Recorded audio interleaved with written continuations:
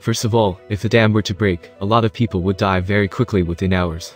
Then, the resulting flood would devastate China. It would also have a significant impact on the rest of the world's already weakened supply chains. The Three Gorges Dam generates 2% of China's electricity, and that's remarkable, but it's not why we've been watching the dam. China has experienced a lot of rain lately.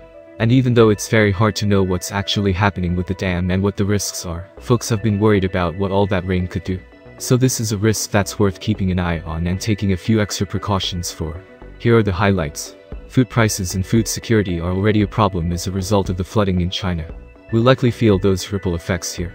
The actual collapse of the dam would devastate a critical part of many global supply chains, resulting in massive shortages of many categories of goods. There would also be a lot of financial market turmoil to navigate in the event of collapse.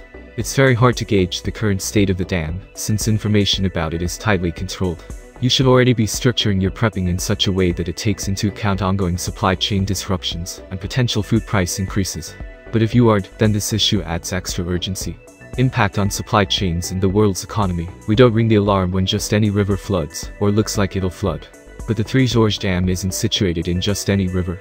Some economists estimate that if the Yangtze River Basin were its own country, it'd have the third largest economy in the world. So if the dam breaks and the basin floods, the whole world would feel the impact. China is responsible for manufacturing almost a third of the world's products. More than half of that output happens in the Yangtze River Economic Basin, which would be flooded within a day if the Three Gorges Dam bursts.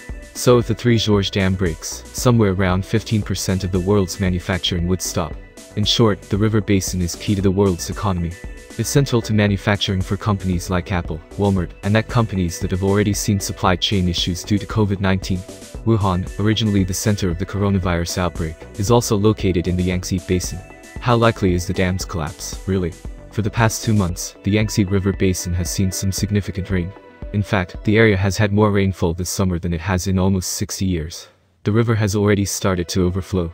And it's not that the people who live in the basin are sitting at home, worrying about what might happen. Already this summer, CNN says 54.8 million people have been impacted by flooding. Nearly 4 million people have lost housing, and 158 people have gone missing or died in the flooding. Last week, Typhoon Hagupit made landfall in eastern China.